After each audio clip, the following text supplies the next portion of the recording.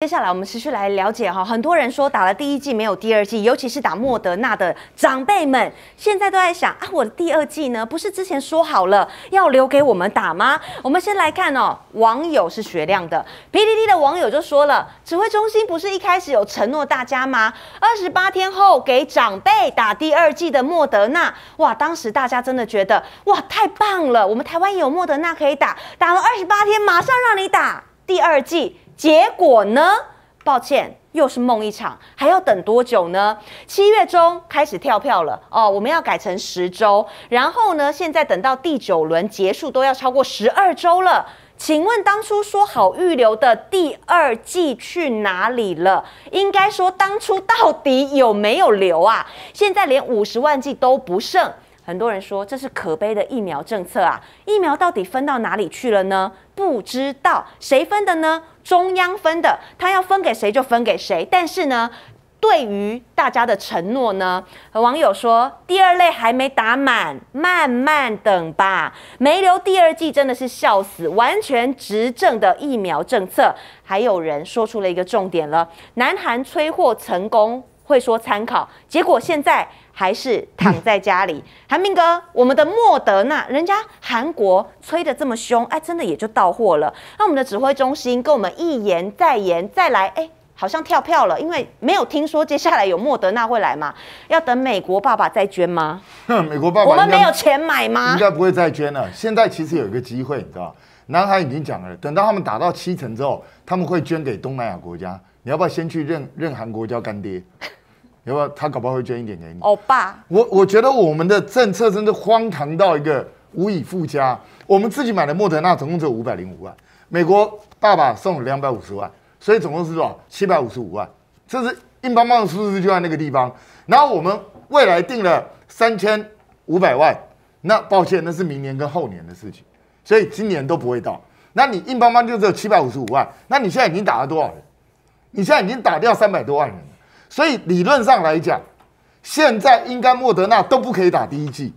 假设你不开放混打的话，你莫德纳已经不可以打第一季，你要全部都要打第二季才对。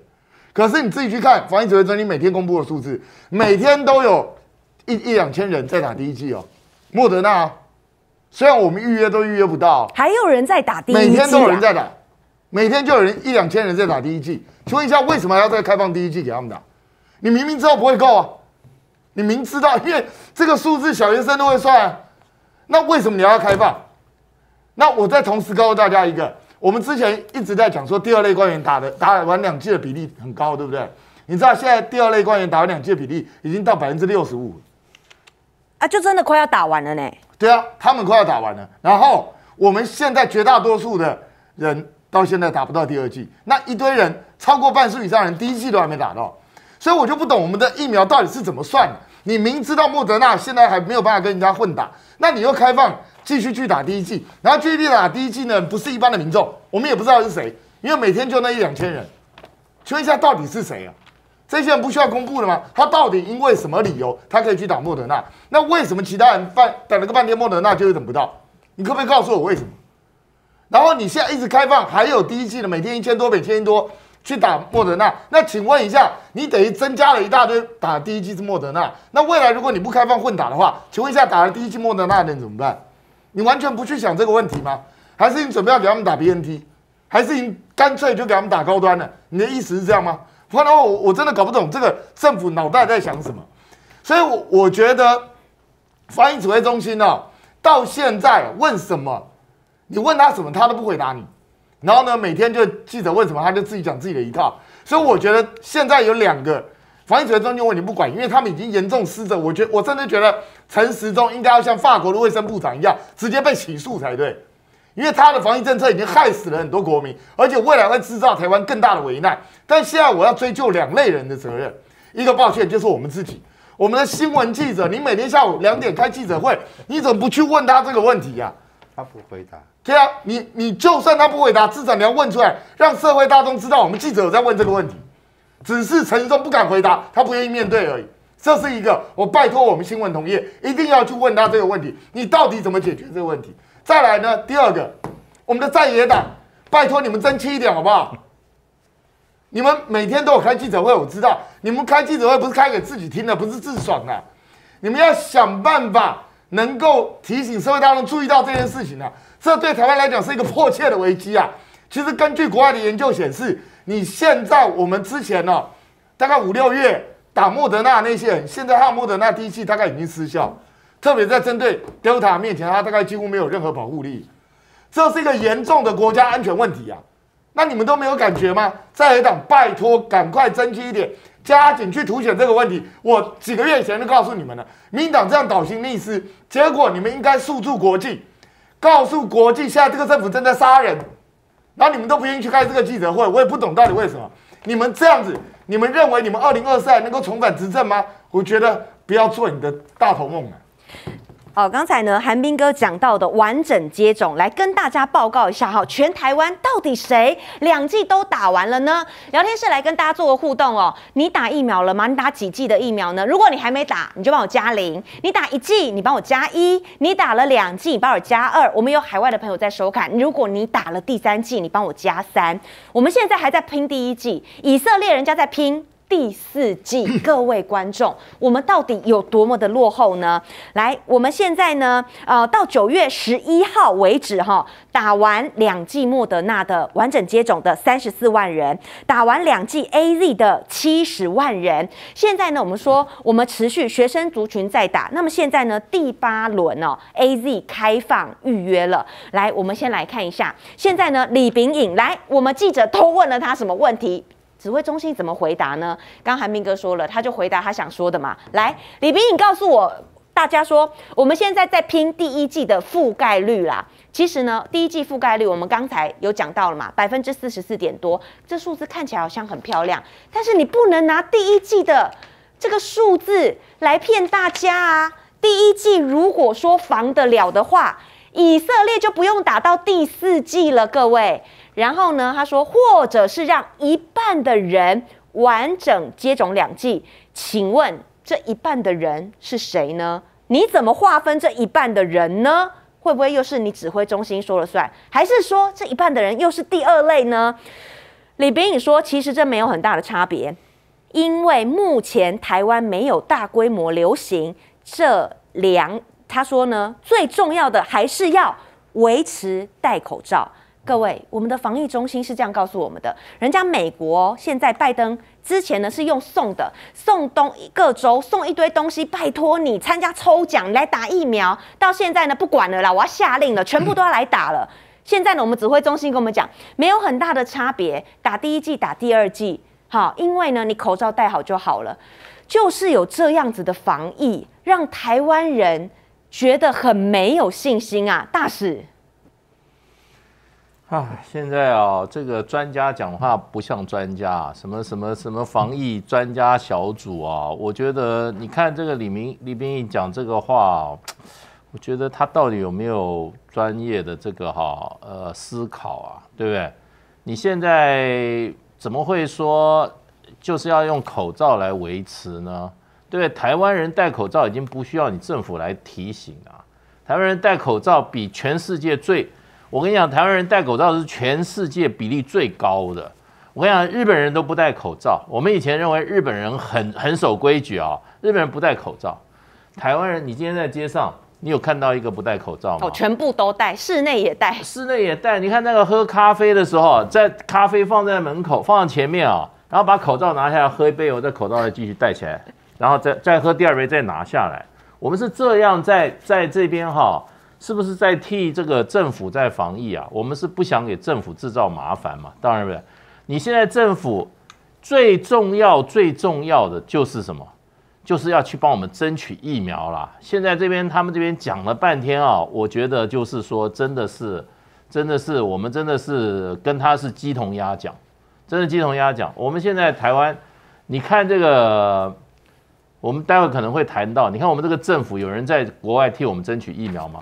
你看看，看看这个郭台铭怎么争取，亲自跑去，哎，他事实上工作天不到四个礼拜，就把全世界被我们这些疫情指挥中心讲的说很难呐，买不到就是买不到了，大家都在抢呢，缺货啦，啊，这个什么什么什么一大堆理由，哎，为什么郭台铭出马？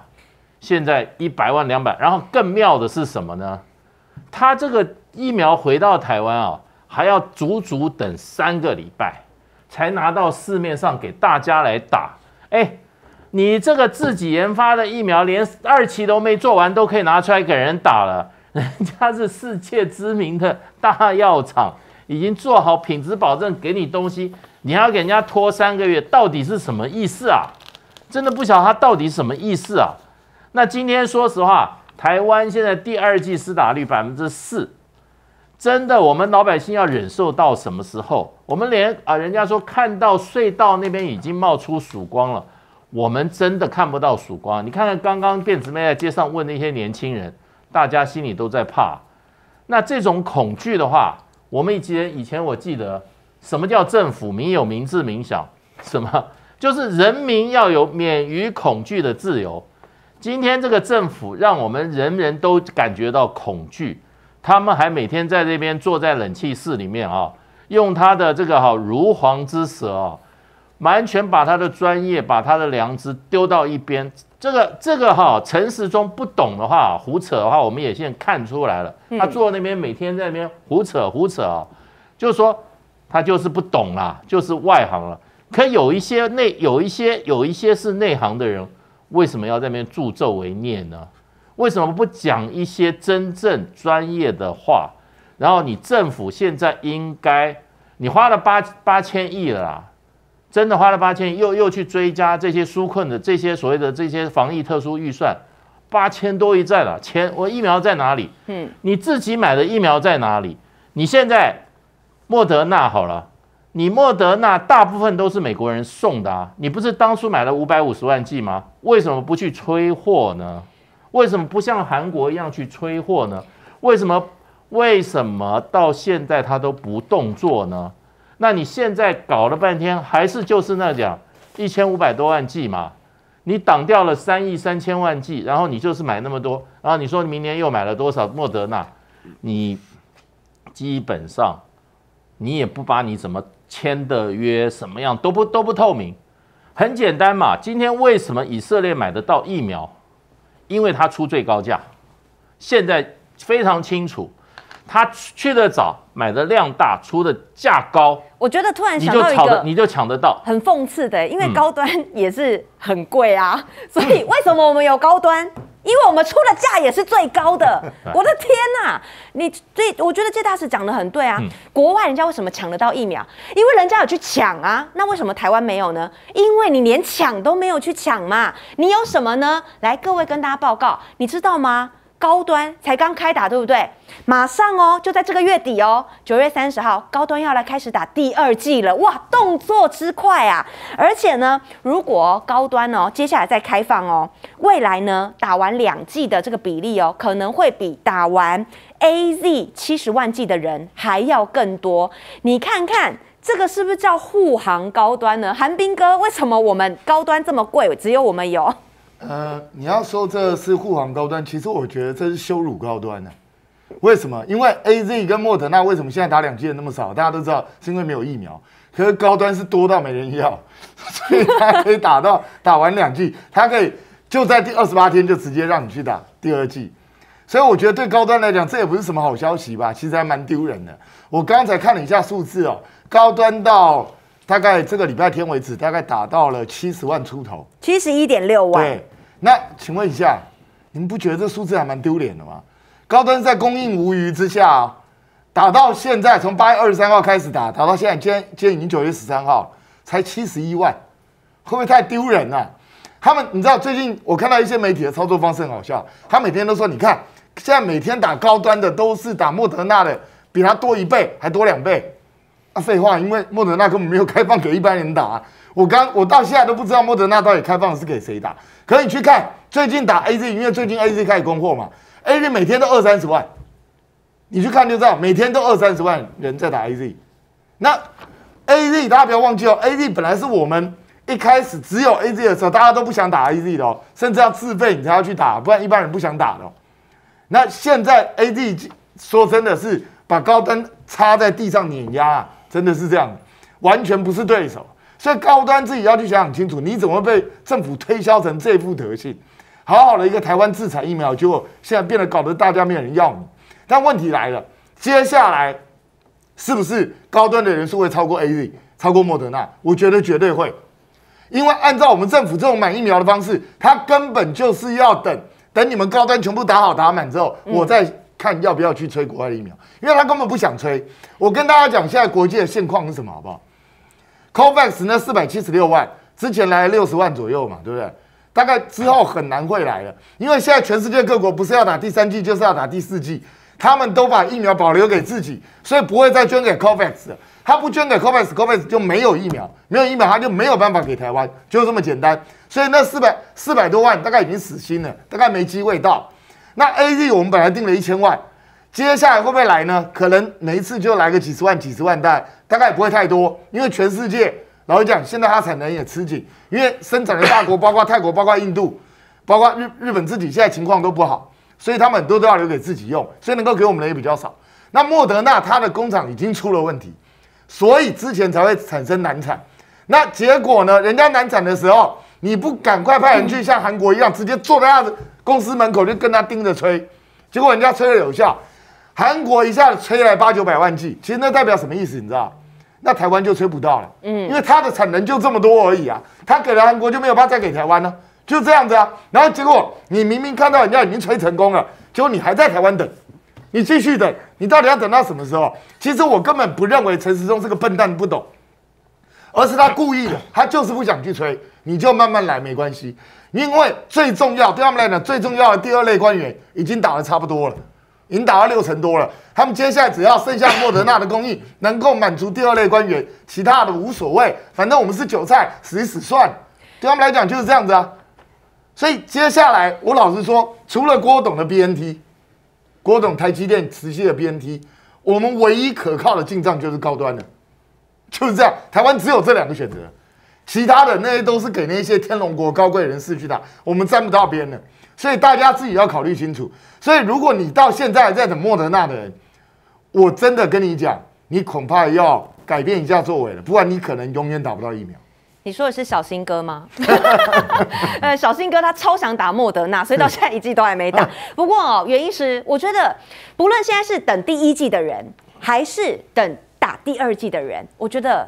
打 A Z 的人都有点失望哎，因为呢，像我们原本打 A Z，我们看了这么多哎，国外人家在混打，我们本来想说哎有望哦，第二季我们也来混打，结果没想到呢，好，今天呢第八轮这个 A Z 啊就开放预约了，谁可以来预约呢？包含了七十五岁以上已经打过第一季满十周以上的长者，还有呢七月十九号之前呢你登记 A Z 的十八到二十二岁的年轻人，还有呢可以打第二季的第五类接种。对象，这就代表着 A Z 打完还是要接着打 A Z。好，打两剂 A Z，好，到底这个防护力跟混打相比，哎，是什么样呢？等一下，我先说完这边哈，因为呢，我刚说到了，还有谁可以选 A Z，对不对？十八到二十二岁的年轻人。于是呢，就在 D Car 有人发文了，他说十八到二十二岁到底是一个 什么样的高级人种呢？不但可以选 BNT，因为他们是学生族群，指挥中心跟你说，我这个就是要给学生打的，十八到二十二岁可以打 BNT。再来哦，又开放 AZ，他们也可以选，等于是可以选 AZ，也可以选 BNT，甚至呢，二十岁以上还可以再选高端。好，另外有网友就回复了，他们叫做什么族呢？叫做手头族。你算一算时间哦。哎，也不用算一算时间了，十八岁就可以投票。好，手头足未来的票仓啊，再等四年，应该也不用再等四年，搞不好明年有没有可能就生效了？再来呢？好，网友回复：年纪越大的人才是更危险啊！我就问医生一句：我们这样的施打顺序到底是对还是不对呢？呃，现在蔡碧如也说了，我们是不是要重新思考一下我们现在疫苗接种顺序啊？不是说滚动式的调整吗？那我们怎么越调越走中呢？蔡壁如认为，一年龄由大而小往下打，然后呢，要陈世忠放下你的执念跟面子啊。我是觉得哈，说实实在在的话，其实刚才辫子妹在那个市中心所采访的事情，让我们在医疗单位来讲是非常寒心的一件事情。因为就代表说我们疫情指挥中心一直没有把一些很正确的观念传达出去。每天下午开记者招待会两一年多了，但是没有把正确的观念传达出去。年轻的孩子这时候在在市中心的时候，他应该讲说：“我很年轻，你们先打。为什么你先打？因为你比较中老年，你比较容易在这个时节里面容易感冒。我身强体壮，哪怕是这个疫情来，我用我健康的这个这个体力，我应该可以捍卫。因为当你疫苗不够的时候，一定要做个区分。但你发觉，你看我们二十几岁的人都吓得要死。哦天哪，我完蛋了！我我我我我要跟我爸爸妈妈一起去抢，这就是造成一个防疫一个非常非常大的一个破口跟漏洞。我还是强调，我们在这个疫情下，大家都没有人是专家，没有人是专家的时候，刚才高端也告诉你，不是我告诉你，高端都告诉你，二十八天就要打第二剂嘛。所以我我好多的时候，我二十八天一到，第二剂就要上去了。那。是因为国际上有人说啊疫苗不够，所以我看看能不能拖到十周，拖到十二周，我再来第二季上去，哎，发觉效果好像也没那么差，所以好像可以，哇，我们就马上把这个十二周当做圣旨了，大大大家进去拖，然后我们又要制造台湾奇迹，我们看可不可以拖到十四周，看效果还好不好？这是完全错误的概念，所以这个疫情指挥中心就是要多元的去看这个疫情，嗯，所以。李炳宇教授，他其实也没有讲错。目前台湾这个岛，没错，我们现在因为守得很好，并没有很可怕的疫情。我所谓可怕疫情，就是说，像五月初的时候，哇，各大医院的加护病房，大家呼吸衰竭好严重，这个快乐快乐缺氧的情形很多很多，这是可怕失控的情形。目前台湾确实是没有，没有时候你更应该是整装来做一些事情，整装来，为什么呢？因为为什么要疫情指挥中心？就是因为多方面，我们有没有条件永远锁国？不可能。我们有没有条件永远让飞机不进来？不可能。这些疫疫情就是会从国际坐飞机进来，这些疫情就是有可能十五天隔离还不够，它还是有可能偷偷摸摸的就从哪里就散播出去了。所以在这种情形下，你现在没事，你就要用一个标准的作业程序，慢慢的循序的打下来，不是靠面子。我常讲。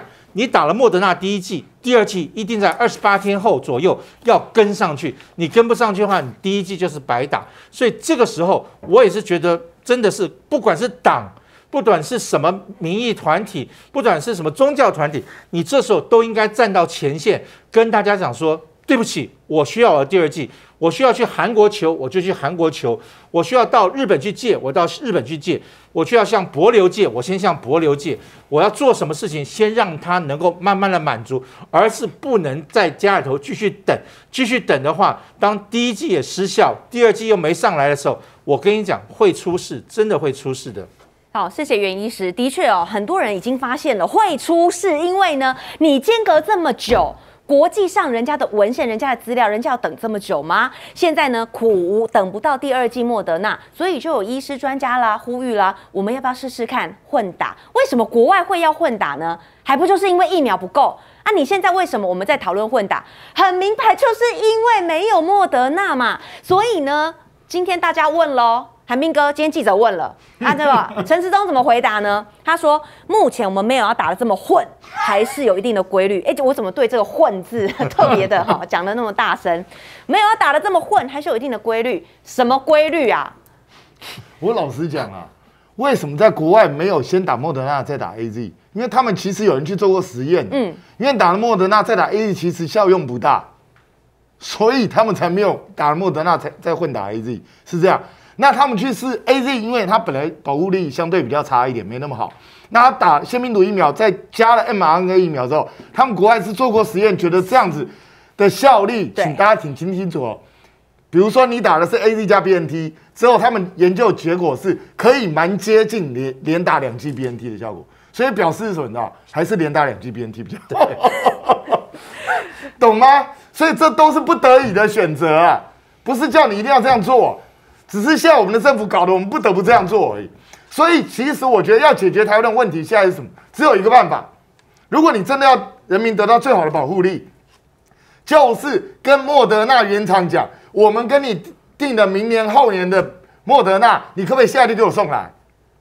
然后你要学韩国一样，叫陈时中带着张善权带着李炳义，你们就堵在莫德纳大门口，在外面把你的那个沙发也搬去，就在他门口睡觉，逼他非给你不可，不然你不离开大门，大概只有这个办法才能解决这个问题。因为莫德纳混 A Z 的意义不大。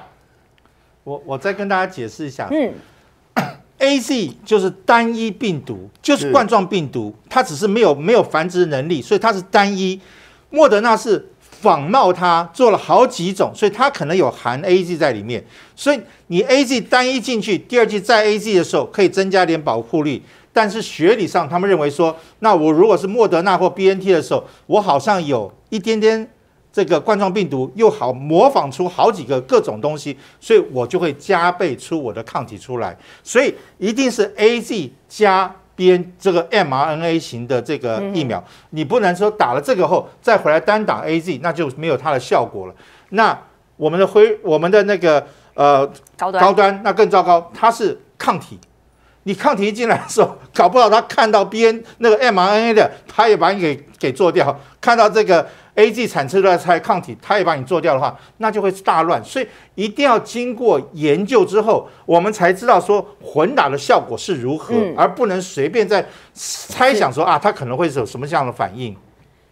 这也就是说，我们超前部署就是要做研究嘛。我再是来跟大家说啦，人家泰国啦，他们怎么研究呢？他们就自己发现了，先打科兴，再打 A Z，效果很好。好，至少在泰国，人家研究出这一套，觉得泰国做得来，所以他们现在呢，他们也发现那疫苗不够嘛，所以呢，他们就先打科兴，再打 A Z。那我们所谓指挥中心，你给我的规律，我不知道是什么规律啦，我只知道说我们现在好像台大跟长庚有在做 A Z 跟莫德纳混打高端啦。好，这会不会是大家心目中想要的混打的规律呢？好，为什么国际的文献这么多国家？好，甚至呢，梅克尔他也是混打的，意大利总理人家也是混打的。我们来看一下专家怎么说。冠状病毒之父中研院院士赖明少，他告诉大家说，我们要开始超前部署啦，台湾。未来哦，不可能完全清零，要考虑跟病毒共存。我们要来规划解封时间跟措施。台湾要思考下一步怎么走。但是哦，你不要只是听到片面说哦，我们要与病毒共存。院士他有举出丹麦的例子，丹麦人家疫苗的施打覆盖率是到八成。好，这个情况之下是叫做国家已经提供给你大量的疫苗，我们大家有基本上的保护力，再加上清不了，所以我们学着与病毒共存。啊，今天大家也问了陈时中啦，又问到了这一题，我那请问我们丹麦人家是八成嘛？来谈病毒共存。那请问我们台湾呢？我们覆盖率要几趴才能跟病毒共存呢？陈时中跟我们说，最少百分之七十到百分之八十以后就该考虑。我真的觉得，第一啦，我也不知道说他这个百分之七十跟百分之八十是怎么来的，是嗯心理感觉，还是说他真的有参考了国外？好、那怎么样的数字叫百分之七十到八十呢？而且我们现在的疫苗覆盖率，两剂的覆盖率，告诉大家是多少？我们刚刚说啊，百分之四点多。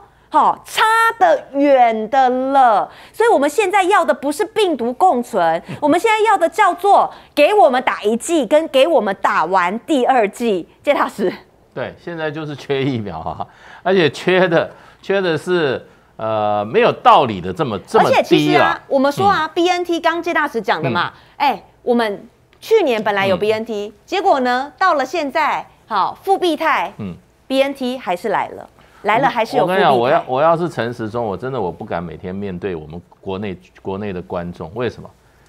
三千万 BNT 是你挡的哦，对不对？你到最后进来还是复必泰，等一下，对对他今天有说他没挡，没有因为简体字延宕疫苗底台，我必须郑重的说明这件啊事，不要曲解这个状况。反正、陈时中回答大家他用是这样嘴巴啦，反正那三千万没进来啦，对不对？没有进来，那他的意思是不是说他他讲苏贞昌党的，还是说蔡英文党的？我不晓得啦。那这三千万是没有进来嘛？那另外他自己承认过啊，三亿剂的 A Z 哎、我常常就在想说，如果我们那个 B N T 进来以后，我们的 A Z 也也进来哈，我们而且在台湾可以代工生产的话，我们今天大概也是差不多，我想大概第一季大概也有七八成，第二季起码也有四成到五成了。然后我们还有还可以怎么样？跟泰国一样，输出什么？输出 AZ。我们还可以去做外交，我们还可以怎么样提升我们的国际地位？就是这个搞一开始就搞坏了，第一步就错，错到现在还死不认错。那错的原因是什么呢？真的就是那个高端两个字，买的疫苗、采购的疫苗就少得离谱。人家去买买的都是怎么样？像日本，好了，日本一亿多人，他买了快三亿剂疫苗，人家为什么要买那么多？就是大家在抢啊。然后呢，都知道你起码要打两剂。那你你今天陈时中你自己去买啊？我们先不买我们的那种那种高端还在研究啊，还在研，你还不知道出不出来？你自己买就买了一千五百万剂，你这是什么意思？我们从科学来讲的话，台湾有两千三百五十万人都知道要打两剂，对不对？我今天打七成好了哈，我今天一千八百万人哈要打两剂话，你也要三千六百万剂啊，你去买一千五百万剂是什么意思嘛？我今天就很简单数学问题，你当时为什么只买一千五百万剂是什么意思？然后你一直说够了够了，我也不知道你什么意思。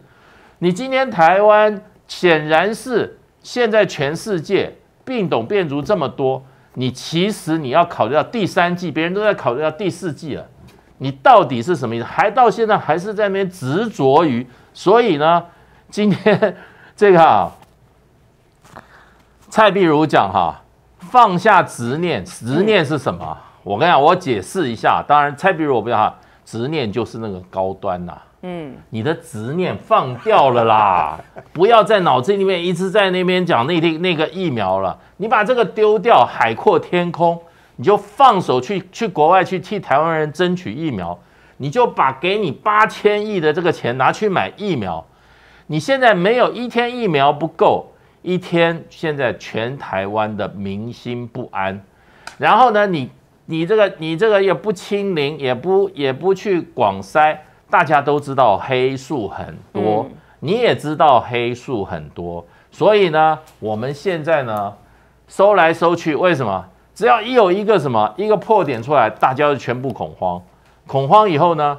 你的基层的这种哈，我们这些服务业啊，还是在那边封锁，老百姓靠什么打零工啊？打零工，然后呢，经济快破产了。你你你是你是每天有冷气可以吹啦，城市中每天又可以吹啦。现在我们很多无薪假的，然后在这个在这个夜市，在这个基层的这个餐馆。我跟你说，现在连哀鸿遍野啊！现在连夜市都快摆不了摊了，哀鸿遍野，而且呢，看不到明天。对，看不到明天。然后你你今天你今天还在这边老神在在这边讲，人家别的国家韩国的全部高官都冲到美国去干嘛？抢疫苗啦！好，来大使说的哈，为什么大家明星会不安？因为呢，生活不安定。我赚了今天，我不知道明天在哪里。我们先来看一下哪些产业受到了影响，包含 包含了，你知道吗？餐饮、观光，只有一个字可以形容：惨。两个字，惨惨；三个字，有够惨。现在呢，五星级酒店的老董都出来跟大家说了，来，金华的董事长潘思亮潘董，国际观光产业是被遗忘在医院里的重症病人。大家看饭店漂漂亮亮在那边，疫情期间它还是很漂亮啊，它还在那边，但是呢，客人没有来，观光客没有来，服务人员，我要服务谁？好，老板的钱从哪里来？很多饭店倒闭就是这样子。再来呢，我们说人观光客进来，好就会坐游览车，我们就可以去观光。现在人都没有进来，去年我们还可以依赖什么呢？本土我们说报复性出游，今年呐，大家呢连出门都不敢，连回家可能都不敢了。端午节的时候还叫大家都不要回家。所以呢，来国道客运业者本来想说，好不容易大家打了第一剂疫苗，可能快复苏了，结果没想到复苏落空。还有一个，我要问袁医师，我也很有感，我从小看到大的一间诊所在疫情期间关门了，因为现在大家都戴口罩啊。我我天哪，我多久没有去看医生了？好，除了胃食道逆流之外，感冒哇，太久没有去看感冒了。来这边，上半年民众哦就医，你们有多久没看医生了？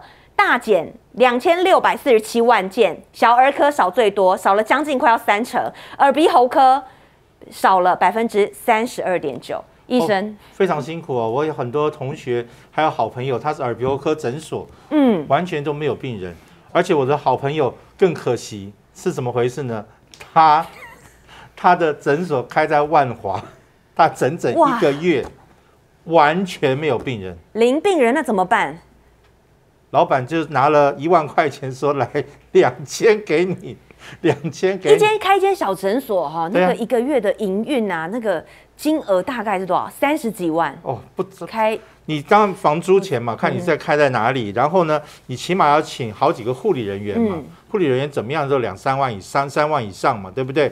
然后医师，然后药啊，反正很多东西。那那如果没有病人的话，那光靠政府的补助没有补助，没有补助啊没？有补助，问题就在这个地方，根本就没有。本来答应要来的补助也都没有来那。这些医生们该怎么办呢？